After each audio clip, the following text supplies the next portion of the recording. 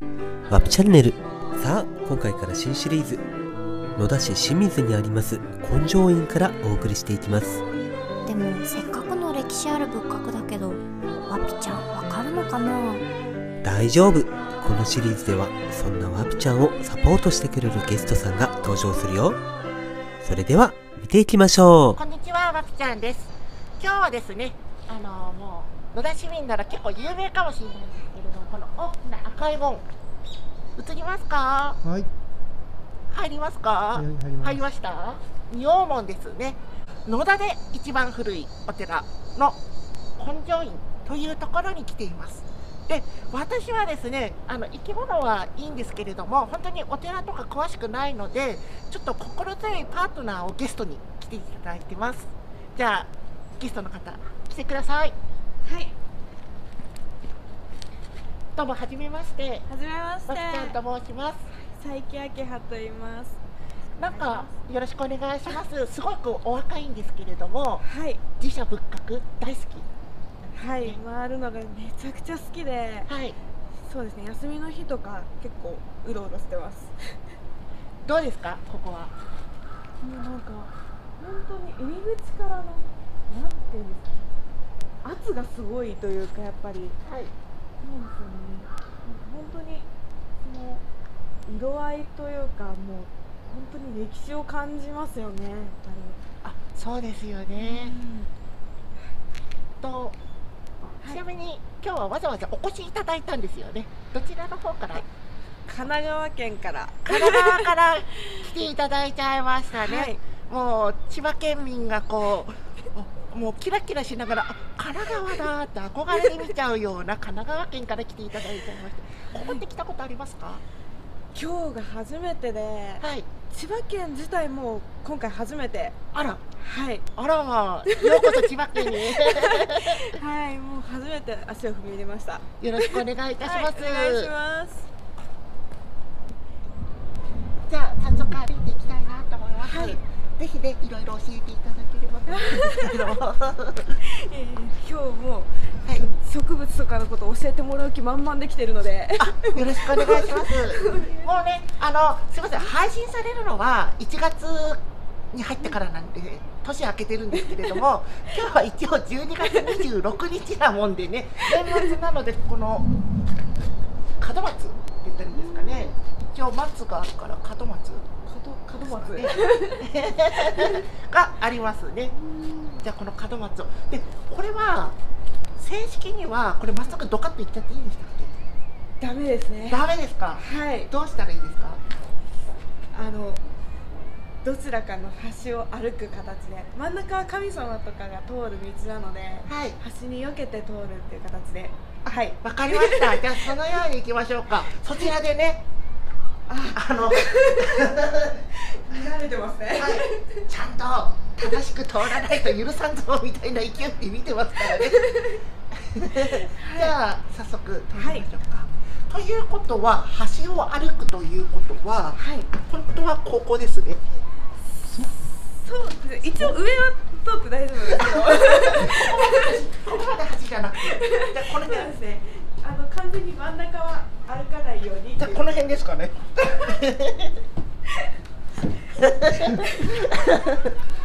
バランス感覚いいですね あぜ道歩いてるかもしれないですけど。さあもうね12月ですのでだいぶもうね木々もあれなんですけどこれ実はもみじの木なんですよね。へえもうね葉っぱはさすがにないんですけれども。でもなんかこの枯れ葉みたいなのがいっぱいついてますよね。はいで私今見てあれ今年あったかいから葉っぱの落ち方が悪いのかなと思ったら葉っぱじゃないんですよねよく見るとね。はい。まあ葉っぱもちょっとは残ってますけれど。これね。はいそれとは別にはいもう下にだいぶ落ちてますけどね。このもみじの種ができてるんです。あこれ種なんですか？はい。これがすごいついてる？ほとんどこれじゃないですか？この点が種なんですけど、翼がついてますよね。この枝を一緒に飛ばしちゃうとちょっとあれなんですけど。見えました、くるくるくるくるって、翼に空気が当たってそれでくるくるくるくる回りながら落ちるという。こんな感じ。うん。へえなんか本当に落ち葉にしか見えないというか。はい。葉っぱが落ちてるようにしか見えない。この後とこんなにでもぎっしりつかないんですけどね。なんかこれも全部実ですからね。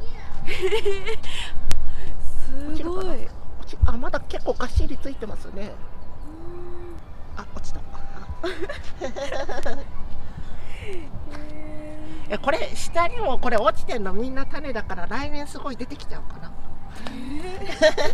じゃあこの辺りすごいことになっちゃいますね。もみじだらけになってるこれは一応木は桜の木ですね。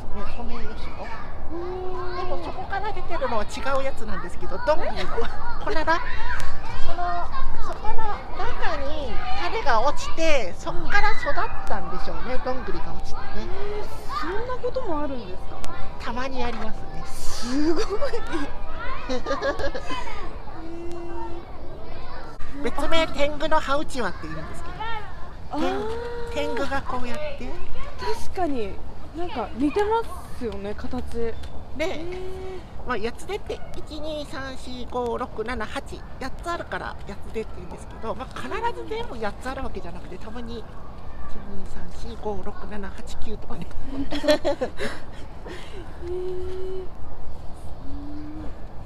ではいあどうぞ。あどうぞ。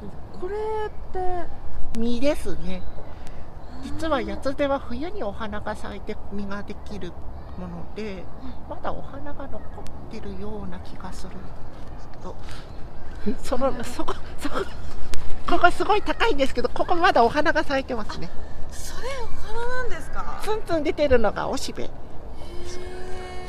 もっとなんかこう近い位置で咲いてるのないかな。ちゃんと花びらもあこれこれこれこれ。この辺とかどうですか？ちゃんとほらあの星型に開いてますね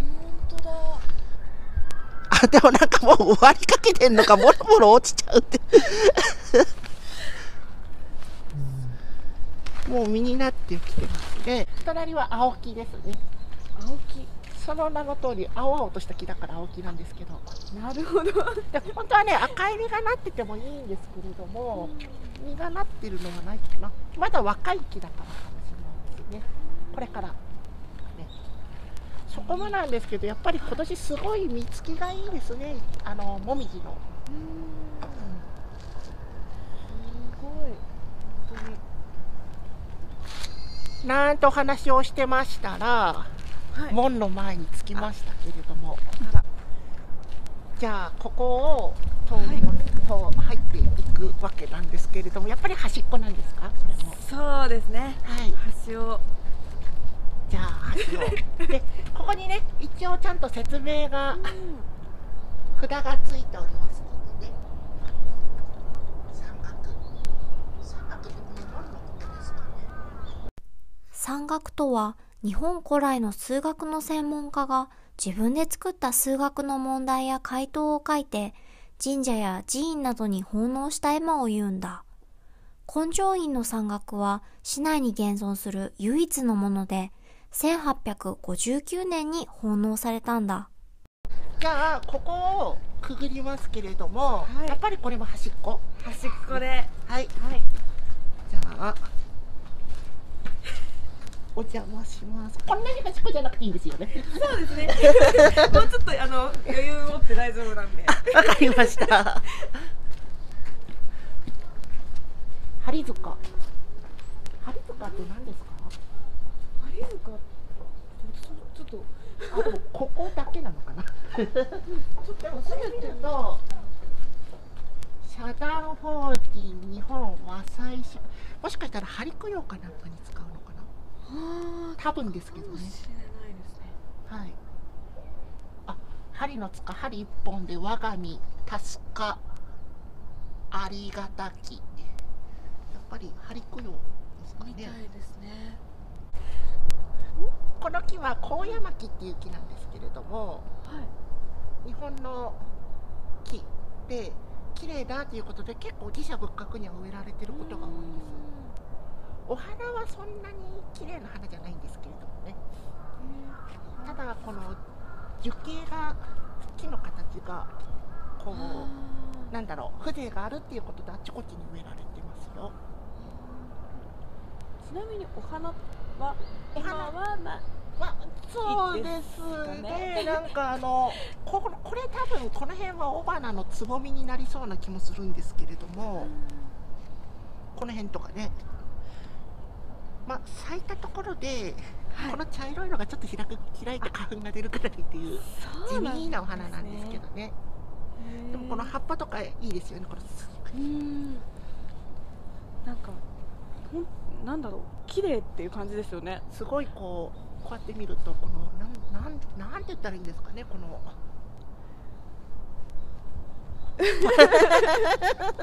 言葉がちょっと出ないはい。そっちは梅なんですけれども、しだれ梅。すごい整整えてありますね。み幹も軒しのぶっていうのがついてて風格が出てま。すななななんですか？ごいの軒しのぶ。軒しのぶ？そっちにもついてますけどね。これこれはどうですか？あの見たことありますか？ああるかもしれないですけどちょっと枝だけじゃ木の幹とかだけでちょっとサルスベリっていうんです。あこの木肌をねちょっと触ってみるとツルツルなんで木登り上手な猿も滑ってもあなるほどうわ本当につくあーすごい。